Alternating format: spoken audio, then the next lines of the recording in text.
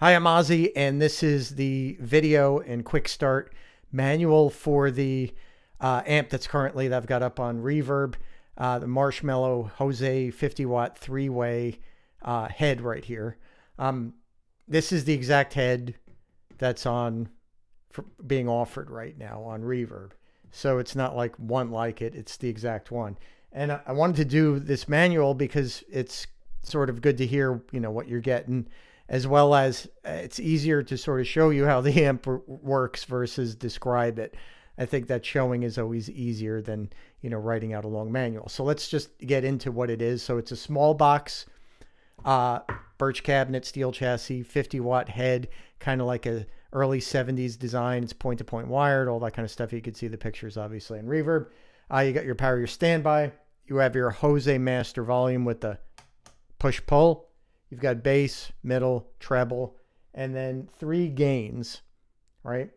And a jump switch. Three gains, three inputs. So volume one, volume two, gain, and the gain is push pull as well. And on the back, you have the presence control. So it's just like the uh, 100 watt uh, real Jose that's you know on the on my channel. If you wanted to see that one as well, you can look for it there. This is a copy of that circuit. Um, so let's just get into how it works. So you have uh, three inputs, which would represent different sort of like channels in a sense, but it's not channel switching. Uh, let's get into what you came here for was like how does the has the lead sound? How does the gain sound? So to get the gainy channel, you go into the one that's marked preamp in, which is this bottom left one.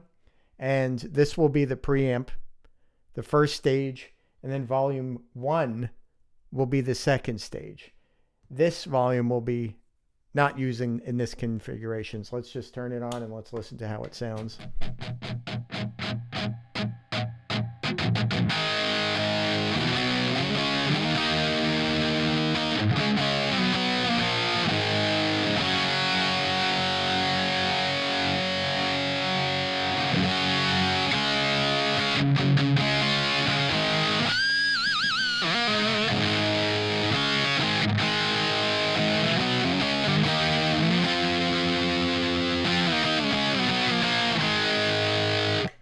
All right, so it's got, you know, a pretty good amount of gain for you. You can go up a little bit higher on both of these.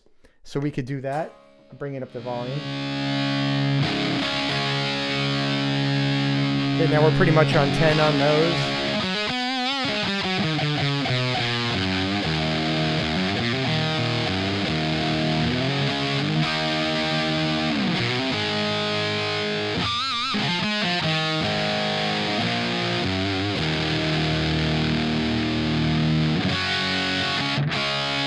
So that's how you would get like, you know, your most popular sound. You can also use the jump switch when you're in any of the channels, and that would combine the two channels in parallel. So if we turn on the jump, this particular uh, volume control starts to work as well. Right? So let me bring it up. Right? This one's starting to work now too. Now that's a much bassier channel, as you can tell, because it's sort of like the, you know, the normal channel on a Marshall. So it has a lot more low end. So you'd want to feather this in, unless you're looking for like a really,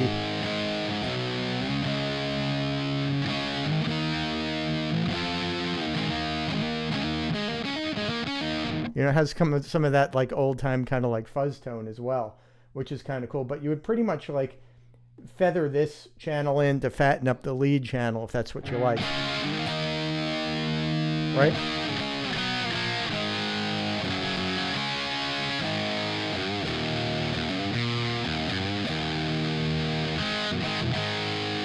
Out. In. Okay. So let's uh so that's basically how your lead sound works.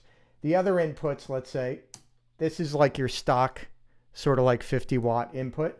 So when you put this into play, um, you'll have this control will be your main sort of like gain. This one's the one that's going to work if you're not jumped. So, right?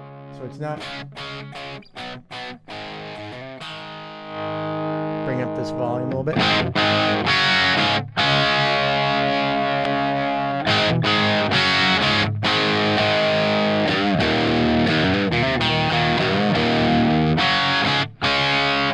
So in cases like this, um, you can, you know, since this is a pre-phase inverter kind of master, you can bring this up a little bit if you want to get a little bit more sort of like power amp crunch.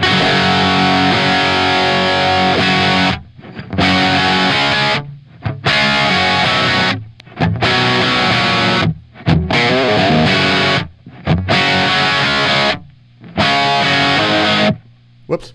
I always miss that one. So that's um that would give you like a more like a 70s kind of tone. Uh, let's, if you jump, right, we're going to jump now. So now both of these are working. So it'd be like in the old time when you put a cord across there.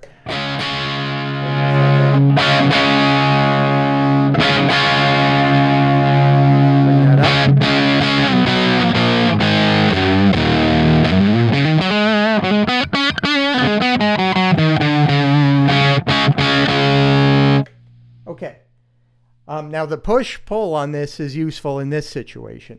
When you pull this out, it disconnects that first gain stage, which unloads the sort of like more traditional stock uh, gain stages, right? So you'd get um, a little bit more, uh, a little bit more guitar signal into the into the front end of it. So you pull it out, right?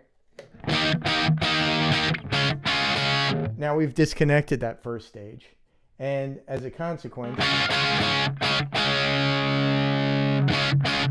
it's going to be a little more, let's say, uh, a little more drive. So I'm going to bring up the master a little bit.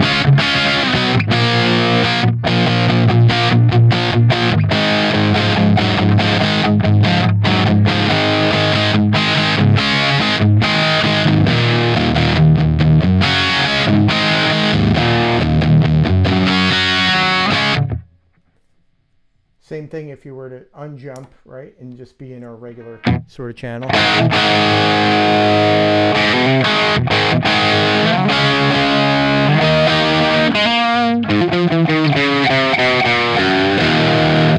Okay, now let's get into just the old school sort of, you know, normal Marshall channel. So we'll bring up that.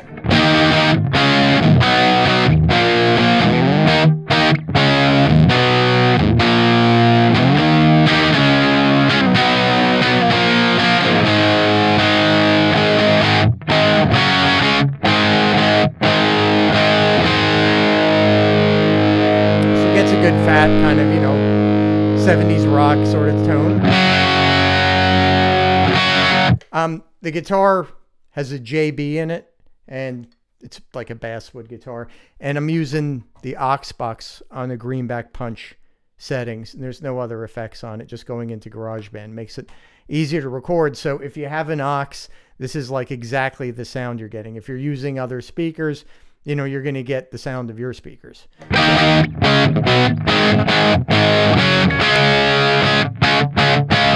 All right, now the other thing is you have the pull, push pull on the Jose. So, or rather on the master volume, the Jose master volume. So we're going to go into our gainier stage, right? Then we'll pull it.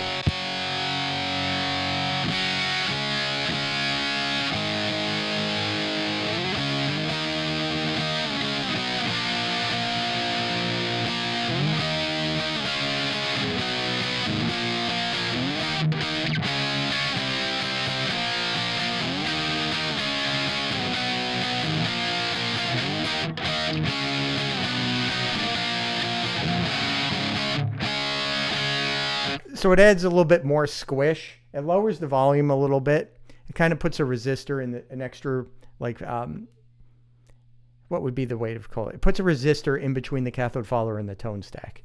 So it creates a little bit of a load on the tone stack, makes it sound a little bit different and lowers the drive to it. Right?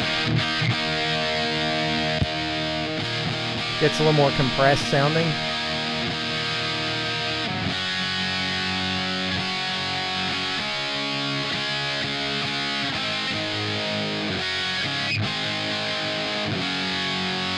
Obviously that works on all the other channels if we were just to go into the regular one. Right.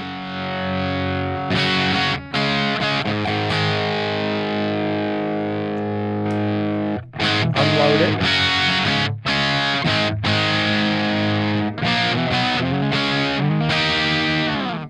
Okay, so I think that would give you, you know, an idea of how the whole thing works. Um, the inputs can be a little bit confusing if you haven't used one before. So just follow along with the video and you'll understand how to get all the different channels to work together. And then you can experiment yourself and see how to dial it in for yourself. All right, so thanks. Thanks for watching and